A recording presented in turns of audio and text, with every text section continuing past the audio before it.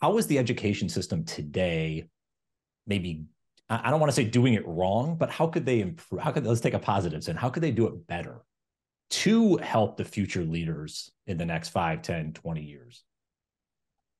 So I wrote a, a book about this. It's free. It's at stopstealingdreams.com.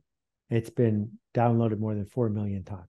So I will try to do it justice in 45 seconds. But Stop Stealing Dreams argues that if we want school to get better, we have to ask a very simple question that never gets asked. Not when you go to a PTA conference, not when you go to a school board meeting. It's a simple question, which is what is school for?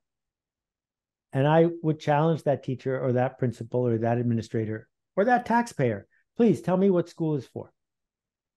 And if they're going to be honest, what they would say is school is to train my child to have a high status job where they will go to a factory and do what they're told.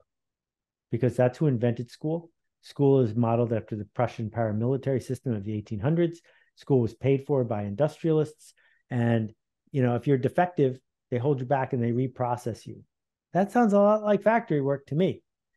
And I have an answer for what is school for, but it's not that. I think what school is for is to teach people to solve interesting problems and memorizing is not an interesting problem and looking something up on wikipedia is not an interesting problem and getting an essay written by gpt is not an interesting problem. Solve interesting problems and lead those two things.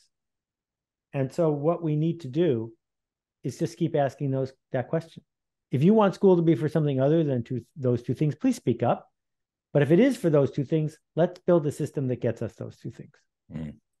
Well, it goes back to too because you could think of like the the school system as like a large organization, like getting them to change the paradigm.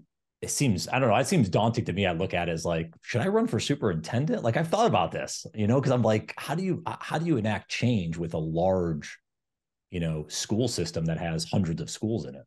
We are seeing in our political system right now that when 10 organized people show up at a school, they can get books banned, they can get the curriculum changed, they can do all sorts of negative things.